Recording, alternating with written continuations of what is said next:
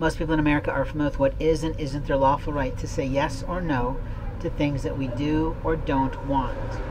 When a man says no to some paltry pocket change, he expects you to honor his no. When a little black child of 13 or 14 tries to deliver cash by dropping it down at you when you don't have a way to collect that like that, and you don't usually take money from children like that, it is totally an offense.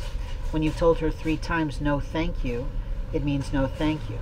When you try to be gracious to give her the chance to take it back so her mother will not be pissed off, she says no. Now, at what point does a gentleman of over 50 have the right to say no to a child? I'd like you to contemplate that.